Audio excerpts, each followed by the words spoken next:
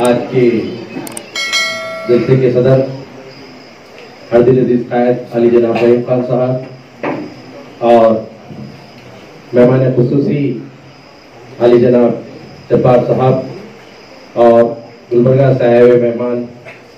लाल सेठ साहब फातह खानी साहब और तमाम साथियों, बिदर के मेरे बुज़ुर्गों, नौजवानों आज हम जिस पार्टी से जुड़े हुए हैं, कांग्रेस पार्टी एक ऐसी पार्टी है, आज देश में बीजेपी को टक्कर देने वाली पार्टी सिर्फ़ कांग्रेस पार्टी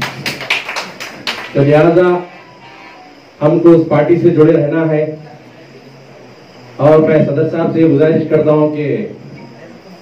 खासकर क्रिश्चन समाज को भी मौका मिले, बहुत से हमारे साथी दिल के साथ पार्टी के साथ काम करते हैं और माइनॉरिटी में जितनी जिसकी हिस्सेदारी है, उतनी उसकी जो है ना, मिलना चाहिए रिप्रेजेंटेशन नहीं मिल रहा है। तो लिहाजा